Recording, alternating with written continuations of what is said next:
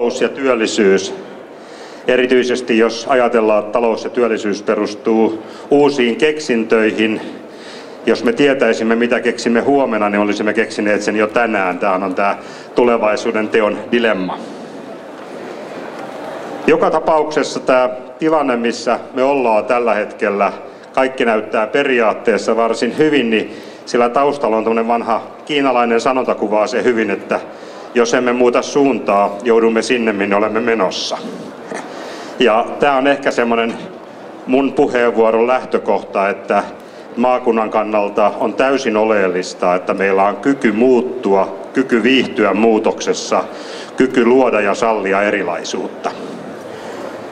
Ensimmäinen asia, jonka nostaisin tulevaisuusvaliokunnan ja tämän teeman kannalta esiin on se, että miksi me edelleen karsinoimme meidän yhteiskuntaa niiltä osin, jolla nuorille luodaan valmiuksia.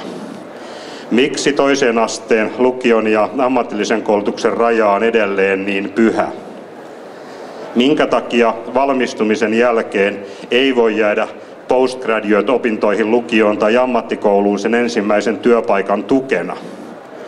Minkä takia polut tästä eteenpäin on, on, on kytketty tähän taustaan. Tarvitsemme selkeästi joustavampia työkaluja sekä ammatilliselle että sen jälkeiselle opinnoille, jotta tämä erilaisuuden kohtaaminen olisi helpompaa ja yritysten olisi helpompi keskustella oppilaitosten ja siellä koulutettavien kanssa.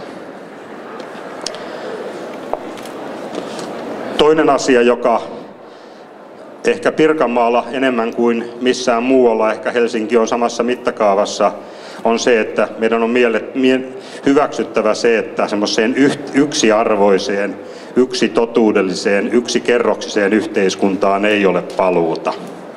Se on sellainen myönteinen piirre, että monikerroksisuus, moniarvoisuus, monitodellisuus on se, missä asioita tehdään. Ja se taas huutaa uudenlaista demokraattista ajattelua. Miten tämä kohdataan? Ottaisinkin toiseksi haasteeksi jotta nuorille pystyttäisiin luomaan parempaa maailmaa, niin meidän on pakko avata meidän demokraattista palettiamme.